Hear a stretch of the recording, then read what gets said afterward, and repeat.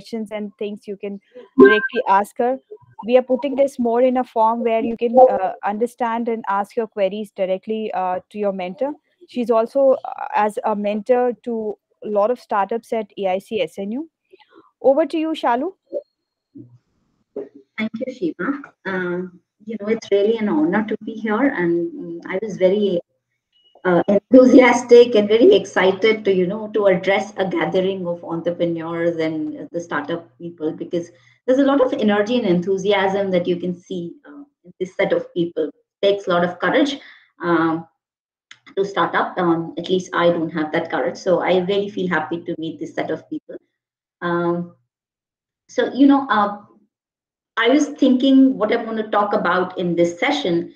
And then I started thinking about the valuation models. And then I also started thinking about, okay, these are the set of people who are going to be meeting the angel investors or micro VCs in their journey towards, you know, getting the funding and the valuation process. So I thought, you know, before we start off, uh, start talking, I would like to show you a deck where I would, you know, like to put up how the VCs actually look at the valuation and how does this valuation game actually happens at for the early stage startups. Um, so I let me just you know give me a minute and I will share this deck.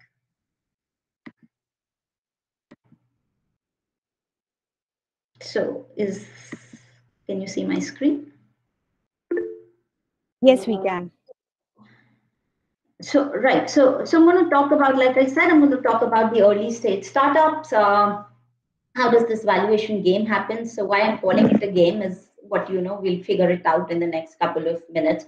Um, and how do vcs actually look at the valuation of the startups?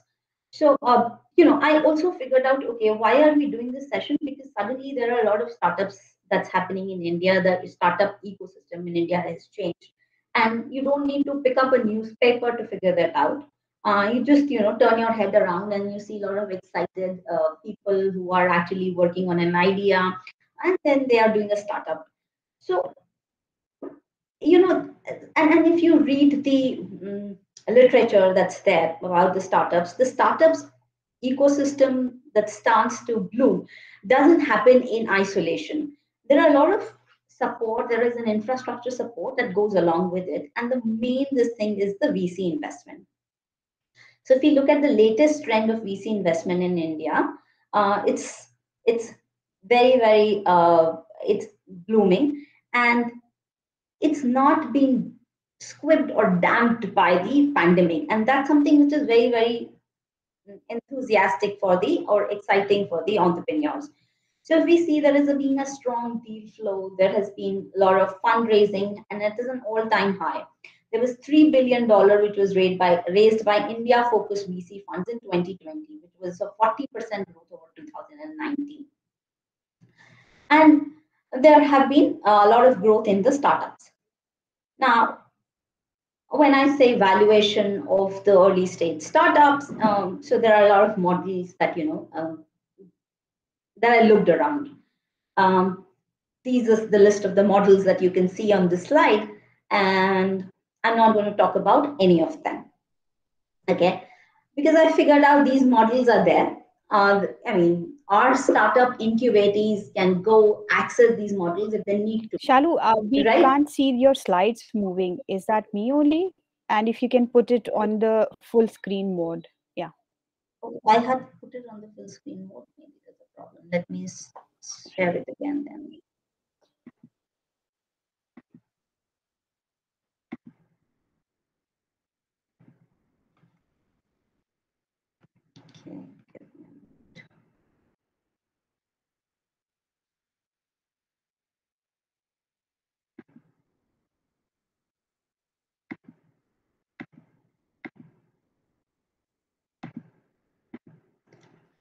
Now, can you see Shiva? Is it visible? Yes, yes, it is. Okay. So I'm sure you would have heard one or two or multiple valuation models among these models. Um, they're very popular among the startup community. Um, but when you look at these VCs, they actually use none of these valuation models.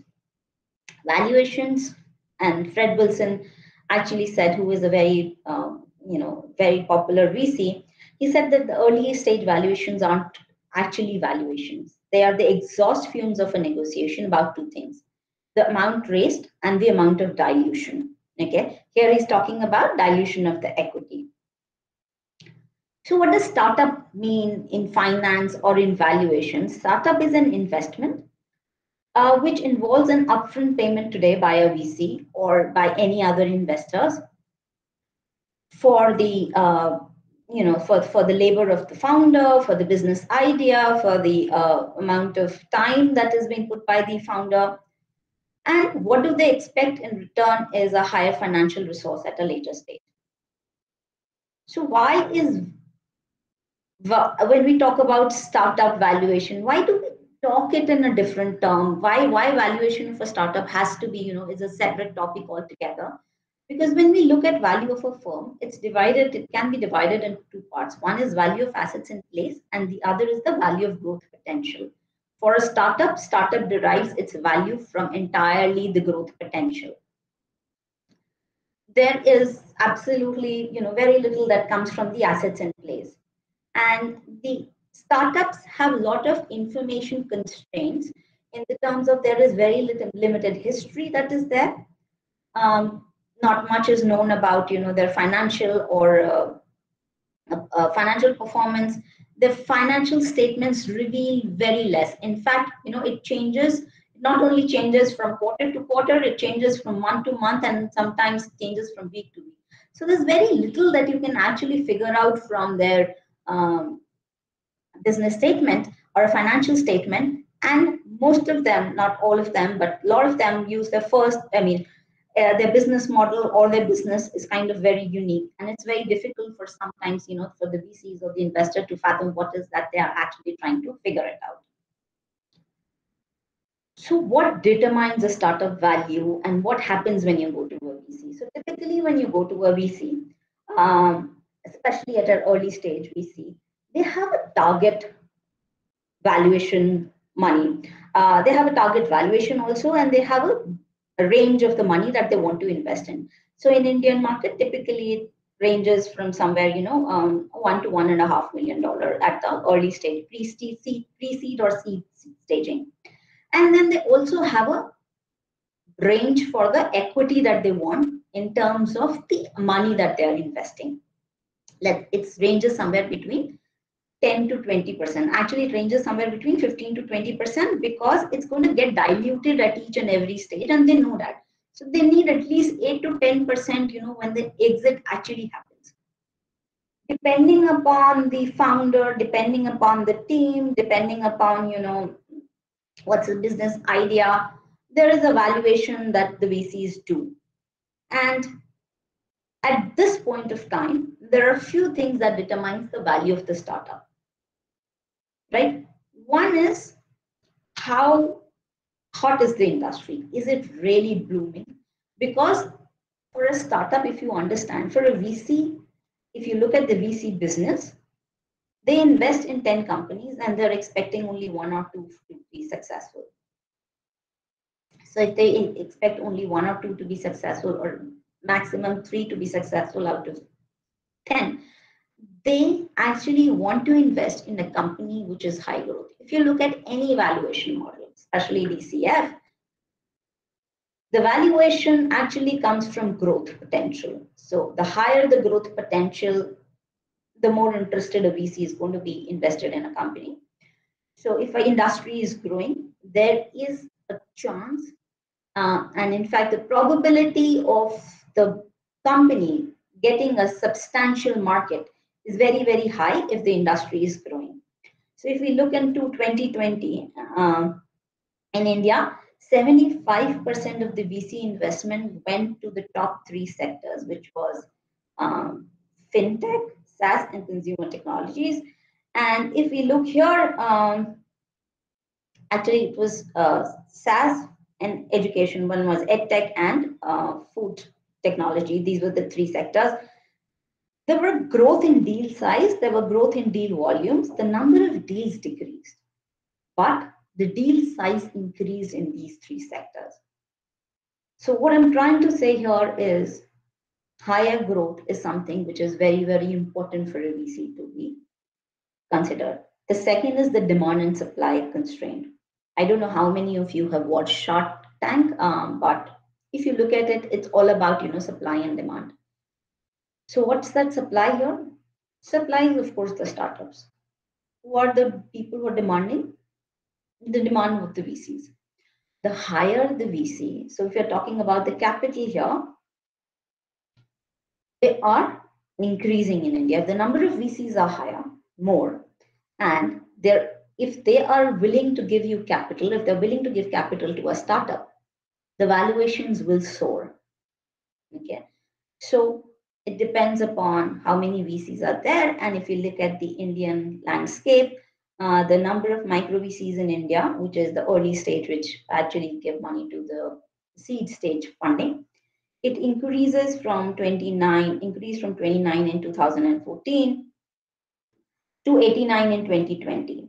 The amount of capital that has been infused by micro VCs has also increased from 346 million, right? So the amount of capital is increasing, the number of VCs are increasing, and hence there is more capital, there is more supply of the capital, and this impacts the valuation of the startups, right? Now, what happens when the valuation of a startup happens or when the VC actually does the valuation of a startup? First, the first question is why do you need a valuation? So a startup looks starts looking for a valuation only and only when they need money, right?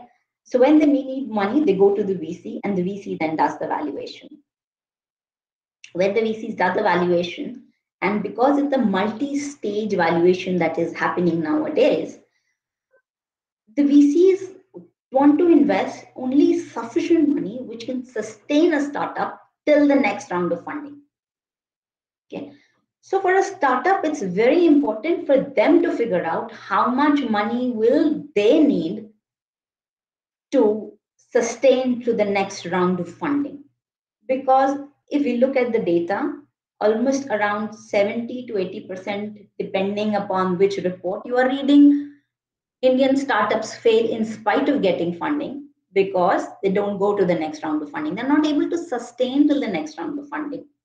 That's because they don't have an idea about how much money do they need for the next round of funding. It's not an easy figure to figure out. It's not as if the startups knows. It's not a figure that even the VCs know. It's an estimate, but you have to be good at that estimate. When you go to a VC, you have to have a story where you show a growth which is exponential because VCs are not interested in investing in a company which has a low growth potential. Okay, there are a few other things that help in determining and getting pushing up the valuation of a startup. Uh, the one of the most important of them is the reputation or the team.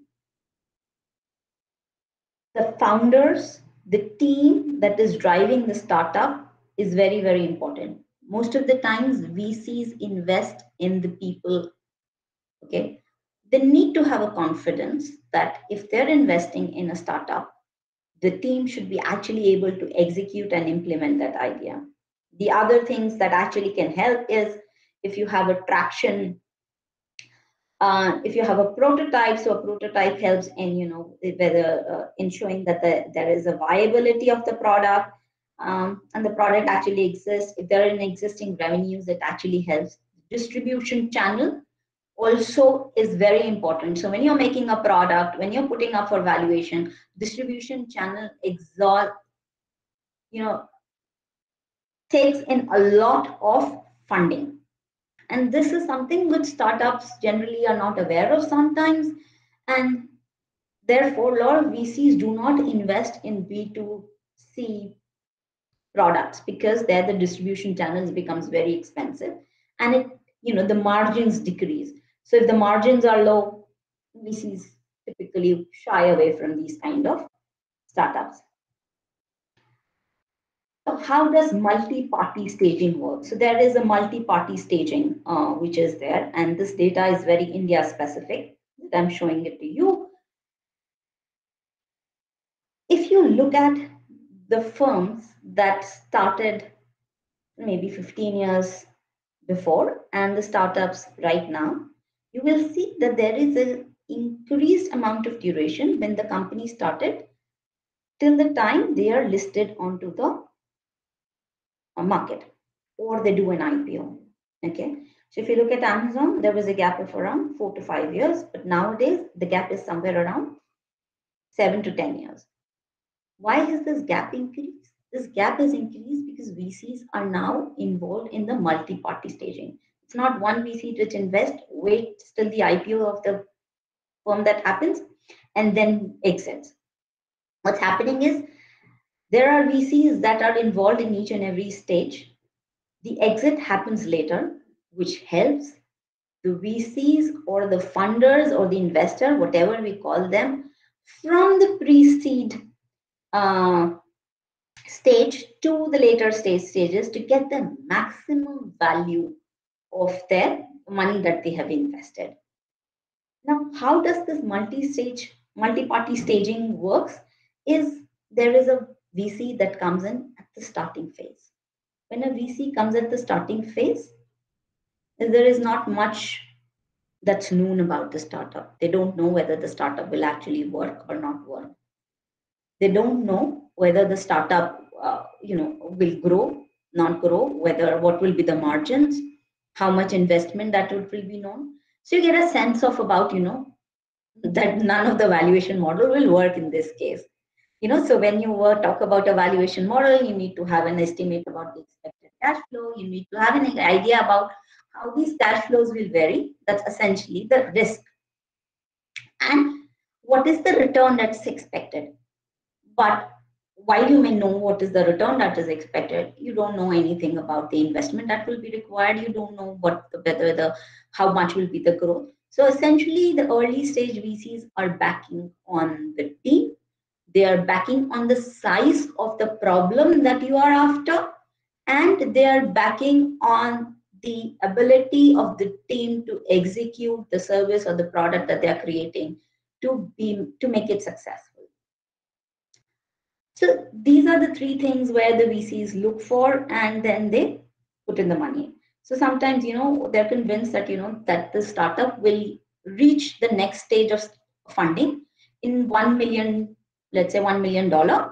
Uh, and they say, okay, 20% is the equity that we want. So it, for them, it's very important that they take a higher amount of equity or a stake because it's going to get diluted. So, so if it's like 1 million, they're actually looking at a valuation of a $5 million. Sometimes they figure out, okay, they might need more money and this valuation, this company may have a higher growth rate. What they do is they may invest in a 1.5 million dollar and then the equity stake can be 15% so but they have a range. Each vc has a range of the money that they're going to invest and the equity that they're going to ask for that in the return for that money that they're going to invest. All they're looking for is how to get you or how to get that startup to the next stage of funding. That's their goal. Now, this multi-party staging is not too bothered about whether the valuation is right or not because at every stage it gets corrected. And at every stage, it becomes a little more precise. So as it keeps moving on from one stage to another, from pre-seed to seed to series A to series B, the number of startups actually keep on dropping. The successful startups keep on decreasing, and the valuations, of course, keep on converging to the listed entities. Now, how does the VC valuations actually work is, um, um, this is just an example that I thought I'll show you.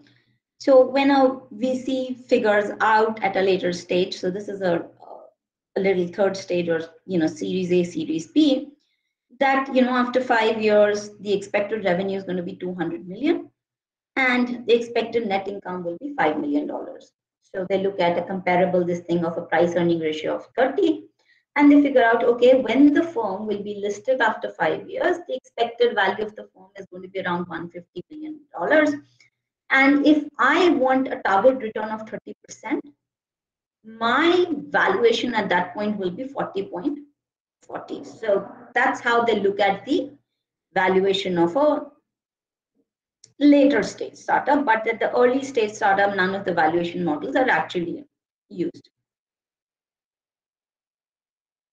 Then we look at how does the convergence happens with the listed companies. So there are three things, um, actually there are two things that happen. One is revenue predictability increases. At the early stage startups, it's very highly unpredictable. Later growth startups have a high predictability uh, or a medium predictability, but a listed entities will have the highest predictability. The growth rate of early stage startup will be very, very high. For a late growth startup, it's going to be high. But for a listed entities, if you look at the growth rate, it's ranges between 2 to 10%. Like I said, you look at any valuation model, the value is derived from the growth. If you change the growth rate of a company by 5%, the valuation of a company changes significantly. The maximum impact in the valuation is created by the growth rate of the company. And that is why when you approach a VC, it's important that you have a growth rate, which is astronomical. Okay. Now, at the initial stage, when nothing is known about the company, the valuation is derived via you know negotiations like uh, what I we I showed you in my initial slide. It was in it's, it's actually a negotiation that keeps on happening, right? So when the VCs actually figure out that they have to value a company, they just just don't. It's not like okay, they come up with the arbitrary figure. Of course, there is a story that's written there, and that story is written on an Excel sheet. So you have to get that story on your Excel sheet right. Okay. What do you need to concentrate on your story on your Excel sheet? Growth rate, how much reinvestment you would need. Because what I figure out is sometimes these startups don't forget that they need to reinvest. You will have to reinvest and you need to put that in your Excel sheet. How do you branch out each and every expense that you incur? according to you know most of the financial laws rules regulations that you see our financial how our financial statements are made most of the expenses are put up in the operating expense. I'll just give you an example. If you buy a product from a startup you get a card which tells you about the company. It tells you about you know why this product is good. They do a wonderful packaging. And do you put it as an operating cost? You put it as a because you know for every product that is sold that cost is incurred. No, that's an advertising that you're doing. So I will not put it an operating cost, put it as a capital expense. The benefit of this expense that you're incur incurring will be accrued for a later period of years. So it's very important that you have a story and that story is backed by the numbers. The numbers need to be shredded to every smaller particle and put everything. If try to bring down everything into a capital expense. I'm not saying, you know, uh, do window dressing, but figure that out. That's something very, very important. When your startup becomes successful, when the late growth startups happen, the models are DCF, public supply, uh, public market comparables that are happen.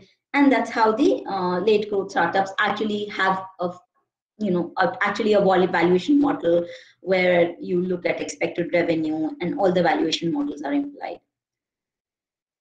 the other thing with the um, that that sometimes you know uh, spoils the party for a startup is when sometimes a most i mean the founders don't exit but the vcs exit okay even the valuations are high the VC exiting is seen as such a negative signal that the valuation key of a startup crashes down.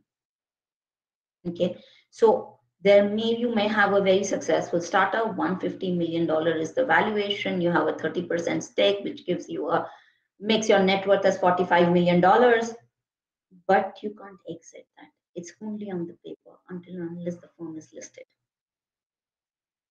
So there is no liquidity in startups. You only invest and invest. So, you know, that brings me that brings me to summarize. I um, when you're looking at an early stage startup, the VCs don't follow any models. There are no models that to be followed. You need to have a story, and that story needs to be absolutely airtight.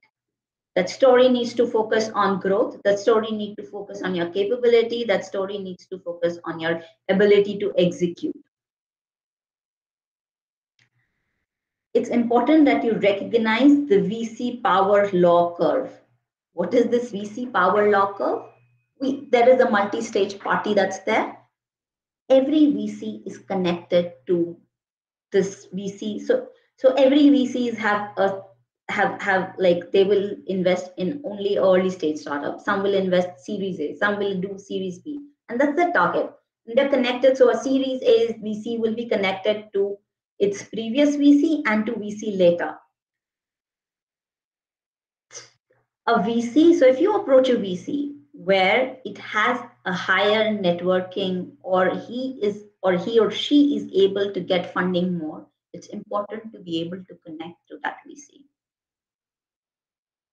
a lot of these lot of startups don't go to the next round of funding because the vcs did not have enough networking it's very important that not only you are capable your vc has to have good networking there is a law power curve that's there.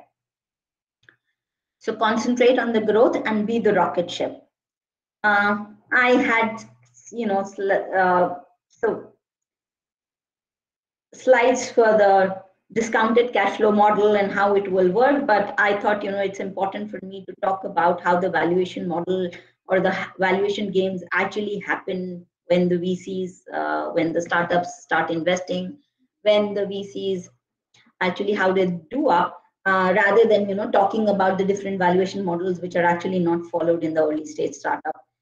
The DCF valuation model works, but it works only in the later stages and only for the listed companies. And for the last, you know, for the first five six years, um, the VCs you you got to be you know uh, playing that game of valuation with the VCs and the and and be a player in that multi-stage um, funding. Great, great. I think Shalu, that's uh, amazing information. Everyone will definitely take make use of it. Uh, we have a couple of questions in the chat box. Uh, if we can quickly have a look on that, or should I read it out? Uh, there is a question from Yogesh, uh, Kaushal, and Suresh. So uh, yeah. So I. Um, go through. So I'll take the questions uh, one by one as they appear on my chat box. So the first question is from Yogesh. He's written, how can one choose the appropriate valuation model for their startup? And what are the important things apart from the money needed while doing the valuation? You know, uh, the objective of doing the valuation, Yogesh, is that you need the money. Otherwise, why will you go for a valuation game at the early stage startup?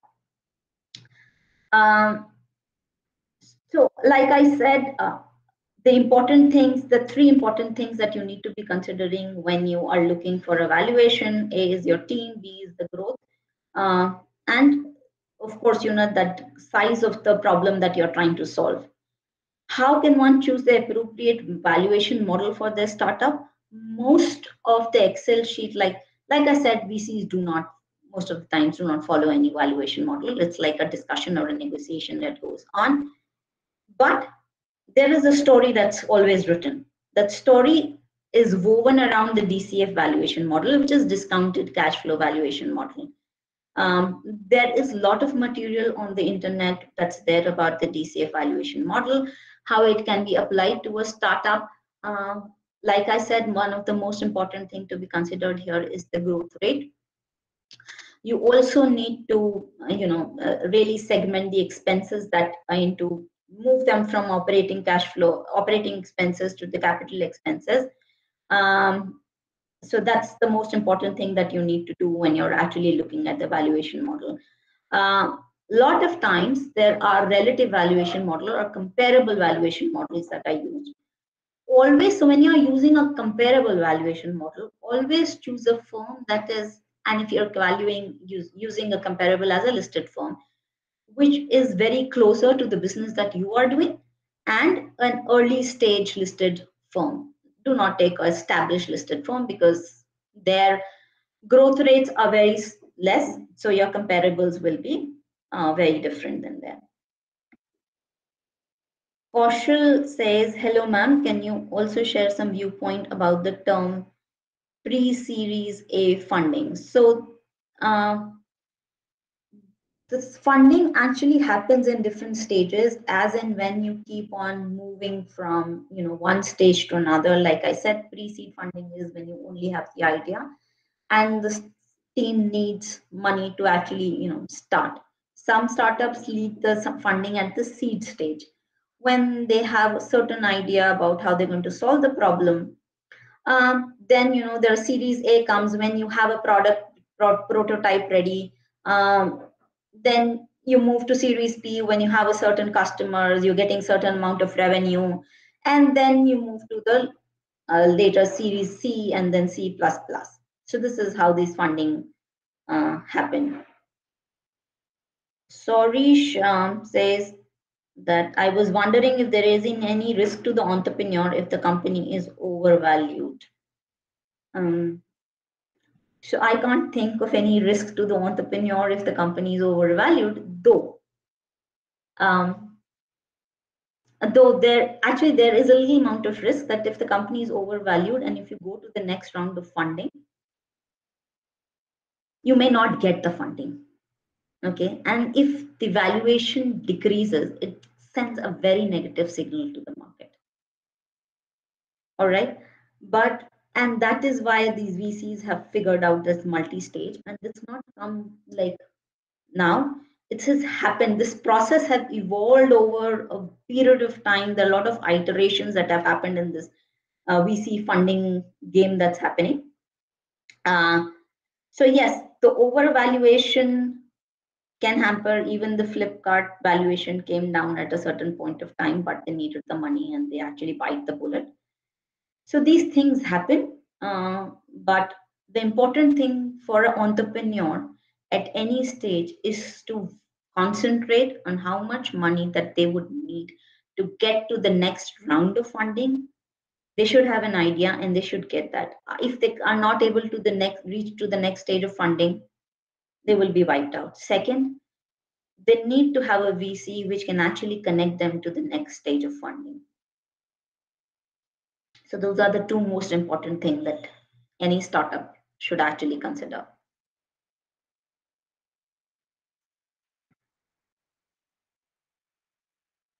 That's wonderful, Shalu. So there are a couple of more queries uh, which arrive uh, out of discussions when we are going into valuation things like how should they split their shares uh, and what should be uh, the paid up capital, uh, the ideal paid up capital. If you can highlight that as well.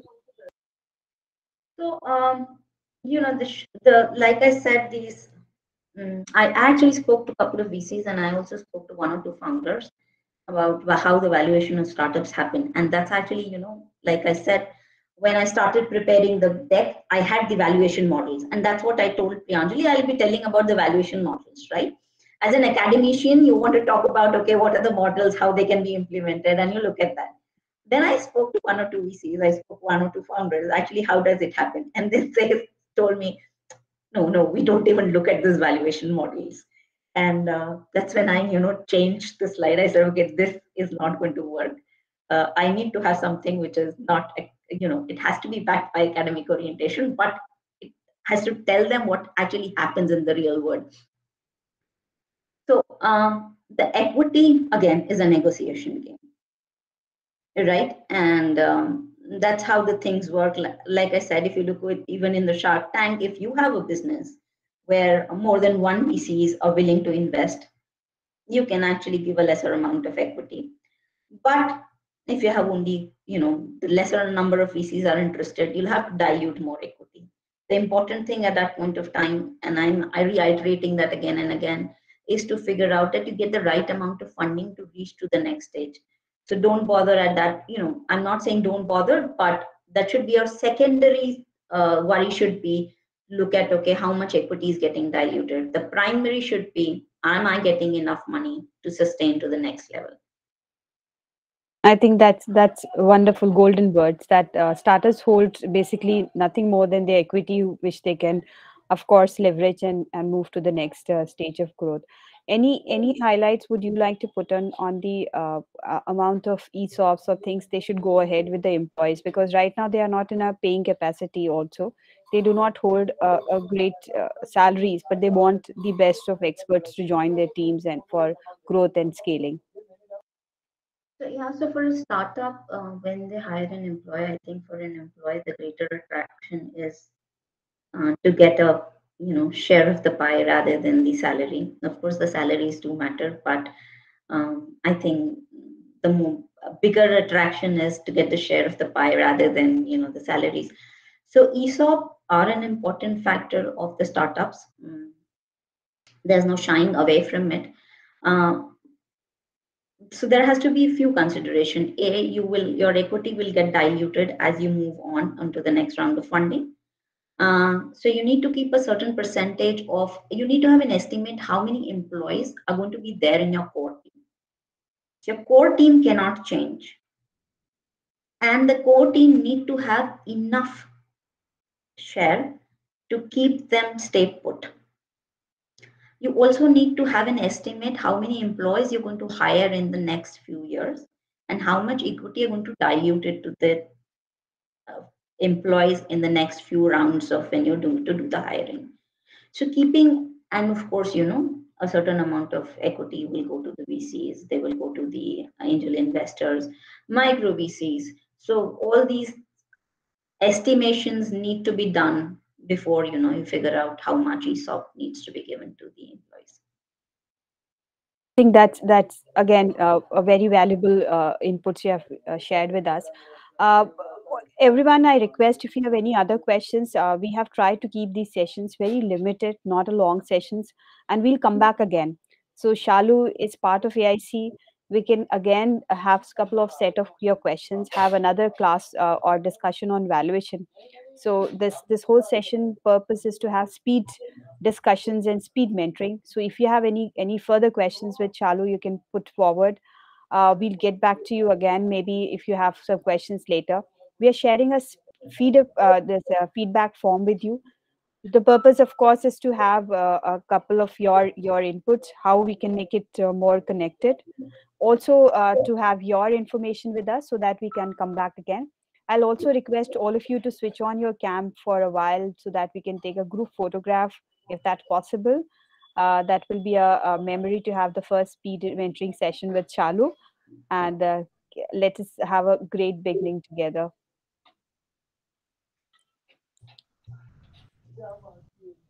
All right. I think they, there are people at home and not able to switch on their cam. No worries. So I'll just take a yeah, uh, camera shy people. All right. So we have we can see the faces. Great, great, great to see everyone here. nice. All right. Okay, so I here I go with the first pick. Couple of more if you want. Uh, if a few more faces come up, I'll take a few more picks. Okay, here we have some more pics.